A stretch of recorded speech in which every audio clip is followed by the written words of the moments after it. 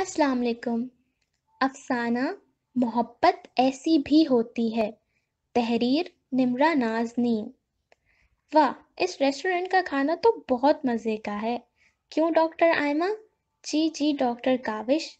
यार, आज जो डॉक्टर बनने की खुशी में ये जो ट्रीट हमें मिली है, ये ख़ास भी होगी या आम ही रह जाएगी? क्या मतलब हमज़ा? मतलब मैं बताता हूँ, है ना? आज हम चारों दोस्त डॉक्टर बन चुके हैं। डिग्रियाँ हमारे हाथों में हैं। हम काबिल हैं। तो आज मैं अपने दिल की बात कहता हूँ, जो चार सालों से मैंने अपने दिल में छुपा के रखी थी। Doctor Aima I love you मैं तुम्हारी मोहब्बत का मरीज़ हूँ। क्या तुम मुझे अपनी मोहब्बत की दवा देकर मेरा इलाज करोगी? आयमा ने काविश का हाथ थामा और धीमे लहजे में बोली हाँ हाँ हाँ। इस मौके पर हमजा और हिना ने खूब शोर मचाते हुए वाह वाह कहा। यार, वैसे हद है हिना ये आयमा आजकल कहाँ गायब हो गई है? ना फ़ोन उठाती है, ना व्हाट्सएप पर ऑनलाइन और ना ही कोई मुलाकात। क्या बताऊँ काविश, डॉक्टर आयमा तो अपने मरीज़ों को ही प्यारी हो गई हैं। हालाँकि मैं इसके साथ रहती हूँ, मगर मैंने भी एक हफ़्ते से इसका चेहरा ठीक तरह से नहीं देखा। घर में या सुबह अस्पताल जाते हुए दिखती है या रात को वापस आते हुए। ना खाने पीने का होश और ना ही ज़िंदगी का। और तुम बताओ, तुमने पार्टी की सारी तैयारियाँ कर ली है ना? हाँ हाँ बस आज तुम इसे किसी ना किसी बहाने से तैयार करके ले आना और याद रहे, उसे पता नहीं चलना चाहिए कि हम इसे सरप्राइज़ देने वाले हैं। हाँ हाँ याद है। यार, है ना, क्या हुआ? तुमने इतनी जल्दी में मुझे क्यों बुलाया और तुम मुझे अपने साथ कहाँ लेके जा रही हो? कुछ बताओ तो सही। पहले अंदर कमरे में जाओ, डॉक्टर आयमा, और जो चीज़ें मैंने रखी हैं उन्हें पहन के जल्दी से तैयार हो जाओ। और हाँ आज मैं कोई इनकार नहीं सुनूँगी। और अगर किया तो हमेशा हमेशा के लिए कुट्टी। और हाँ आई एम सीरियस ये सुनकर आयमा मुस्कुराई और कमरे में चली गई। काले रंग की पैरों तक आती हुई नेट की मैक्सी जो काले ही रंग के सितारों से गची हुई थी, सिल्वर ज्वेलरी और सिल्वर हाई हील्स के साथ लाइट मेकअप में वो बहुत हसीन लग रही थी। इसका गोरा रंग काली मैक्सी में चाँद की तरह चमक रहा था। कैसी लग रही हूँ हिना माशाल्लाह, बहुत प्यारी। अब चलें। गाड़ी में बैठते ही आयमा ने हिना को मुखातिब करते हुए कहा किसी और की बर्थडे पार्टी में तुम मुझे ऐसे तैयार करके लेके जा रही हो जैसे मेरी हो। इसने हिना की पीठ पर हाथ फेरा और कहा, चक्कर क्या है दोस्त? कुकु कुछ नहीं। हिना की हिचकिचाहट सुनकर आयमा के जहन में एक नई सोच की आमद हुई। ओह, आज तो मेरी सालगिरह है। तो जो मैं सोच रही हूँ वो हकीकत है? मतलब है ना?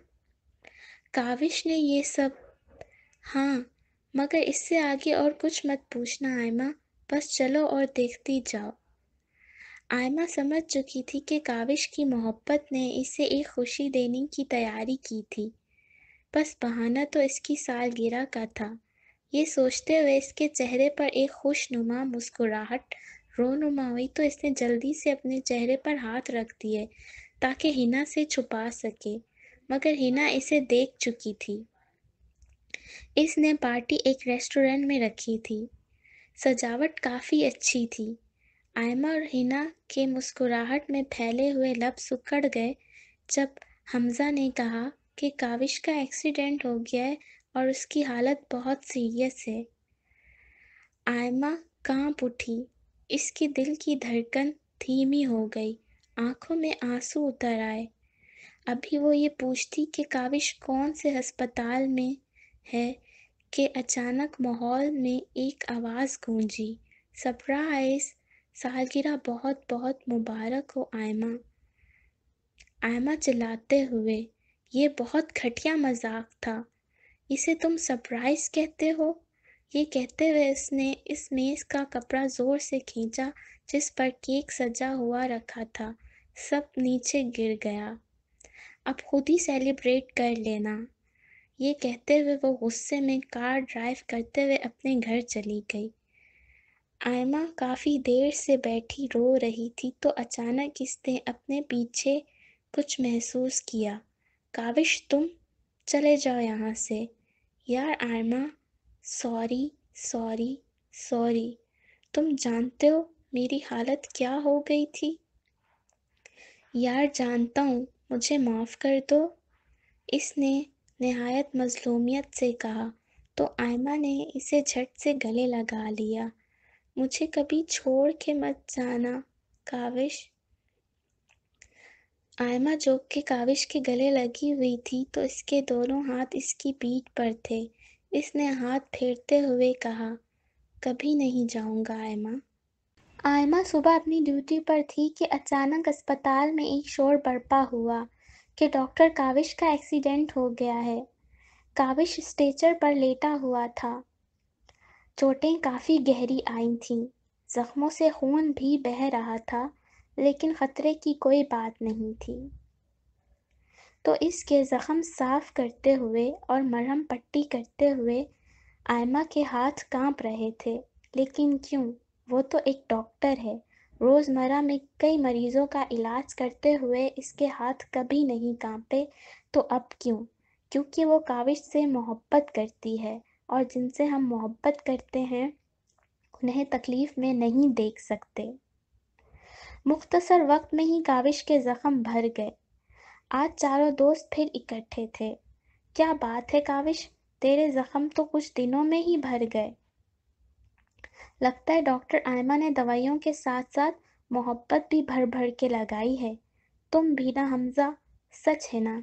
ये कहते हुए चारों दोस्तों ने कहका लगाया। यार, अब तुम अपनी शादी की मिठाई कब खिला रहे हो? बिल्कुल, हमज़ा। मैं आज ही पापा से अपनी और आयमा की बात करता हूँ। घर पहुँचते ही इसने देखा कि इसकी फुप्पो आई हुई हैं। अरे काविश बेटा आओ आओ, मैं तुम्हारा ही इंतज़ार कर रहा था। खैरियत पापा? हाँ बेटा, सबसे पहले तो माजरत कि तुमसे पूछे बगैर ही तुम्हारी पुप्पो की बेटी अबीहा से तुम्हारा रिश्ता तय कर दिया। मगर मुझे इस बात का गरूर है कि तुम्हें कोई एतराज़ नहीं होगा। बचपन से अभी जवानी तक तुमने मेरा हर फैसला कबूल किया है। कभी मेरे फैसले के ख़िलाफ़ नहीं गए। मुझे इस बात पर फ़ख्र है, मान है गरूर है, तुम मेरा सब कुछ हो। पापा के चेहरे पर नाजो खुशी देखकर काविश कुछ ना बोल पाया और सर झुका दिया। ये वाक्य सुनने के बाद आयमा, हिना और हमज़ा को एक सदमा सा लगा। दस मिनट की खामोशी तोड़ने के बाद हिना बोली तो अब तुमने क्या सोचा है काविश? अंकल को फुर्सत और तहमुल से अपने और आयमा के बारे में बताओगे? हाँ बोलो। नहीं, हिना, मैं पापा को कुछ नहीं कह सकता। हिना दांत पीसते हुए बोली तो क्या आयमा को छोड़ दोगे? तुम दोनों की इतनी शदीद मोहब्बत क्या ज़ाया कर दोगे? क्या चुपचाप अबिहा से शादी कर लोगे? ओह तो साफ़ साफ़ बोलो ना कि आयमा एक टाइम पास थी। खामोश है ना ये बात तो सच है। कि काविश मुझसे सच्ची मोहब्बत करते हैं। इनकी मोहब्बत में कभी खोट नहीं रहा। कैसी सच्ची मोहब्बत की बात कर रही हो तुम? जो हिम्मत करके अपना ही ना सके। तुम दोनों माशाला से काबिल हो। अपनी मर्ज़ी का हक रखते हो। तो फिर क्या मसला है? आयमा की आँखें नम हो गईं। मसला सारा किस्मत का है। हम दोनों का साथ एक दूसरे की किस्मत में नहीं है शायद। वरना मोहब्बत तो सच्ची है। अब ज़रूरी थोड़ी है कि मोहब्बत हासिल भी हो जाए। मालूम है, यही होती है मोहब्बत। मोहब्बत को अगर मोहब्बत से देखो तो हर चीज़ हसीन, हर ला हासिल हासिल नज़र आता है। लेकिन अगर इसे हकीकत से देखो तो मोहब्बत कुछ नहीं है। हकीकत की दुनिया में इसका कोई वजूद नहीं है। एक भरपूर नाम वाली बेवजूद मोहब्बत। ये सुनकर काविश की आँखें नम हो गई। मुझे माफ़ कर दो, आयमा। मैं अब पापा को तुम्हारे और मेरे बारे में सब बताऊँगा और ज़िद करके उन्हें मनाऊँगा। आयमा ने काविश के आँसू पोंछते हुए कहा, नहीं, काविश, मेरी मोहब्बत की फतह पापा का मान और गरूर कायम रखने में है। वो तुम्हारे पापा हैं। उनका तुम पर इस मोहब्बत से भी ज़्यादा हक है। तुम्हें मेरी मोहब्बत की कसम, तुम ऐसा कुछ नहीं करोगे। और हाँ बहुत बहुत शुक्रिया, मुझे थोड़ी ही सही, मगर मुकम्मल मोहब्बत देने के लिए। काविश ने आयमा का हाथ थामा और बोला, क्या मोहब्बत ऐसी भी होती है? आयमा ने इसके सवाल पर जवाब दिया हाँ मोहब्बत ऐसी भी होती है। अगले दिन शादी हाल सजा था। स्टेज पर काविश और अबिहा दुल्हा दुल्हन बने बैठे थे। इन पर नज़र पड़ते ही आयमा के मुँह से ये अशार निकले। ख्वाब को हम हकीकत तस्लीम किए देते हैं। तेरी फुरकत को गुर्बत तस्लीम किए देते हैं। ख्वाब को हम हकीकत तस्लीम किए देते हैं तेरी फुरकत को गुर्बत तस्लीम किए देते हैं। चलो छोड़ो मोहब्बत की आदत को निमरा तुम। इस आदत को ज़रूरत तस्लीम किए देते हैं। अरे आयमा, तुम आ गई? जी जी, दुल्हे साहब, मैं आ गई। अरे, तुम और अबिहा तो एक साथ बहुत ही अच्छे लग रहे हो। ये कहने की ही देर थी कि हमज़ा आया और बोला, चलो, निकाह का वक्त हो गया है। ये सुनते ही आयमा और काविश ने एक दूसरे की जानब देखा। इनकी आँखें नम हो गईं, मगर लबों पर एक मुस्कुराहट फैली और इन्होंने ये अल्फाज दोहराए, मोहब्बत ऐसी भी होती है।